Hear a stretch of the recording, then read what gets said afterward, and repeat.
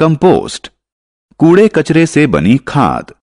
कूड़ा कचरा ढोने वाली गाड़ी शहर से कूड़ा कचरा इकट्ठा करके खुली जगहों पर ले जाती है।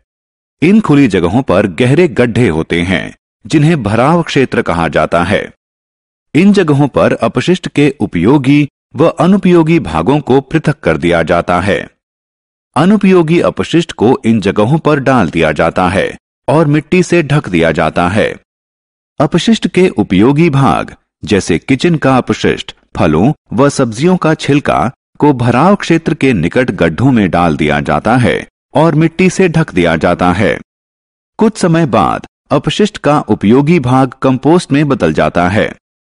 पूर्ण रूप से अपघटित, यानी विगलित होने के कारण, इसका रंग काला हो जाता है और इसमें किसी प्रकार की दुर्गंध नहीं होती है। इस खाद का उपयोग पौधों में किया जाता है। जिससे पौधों की वृद्धि होती है।